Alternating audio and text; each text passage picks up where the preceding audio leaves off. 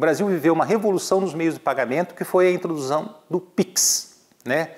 O Pix é uma forma instantânea de pagamentos. Isso foi bom? Isso foi bom para os bancos? Não foi bom para os bancos?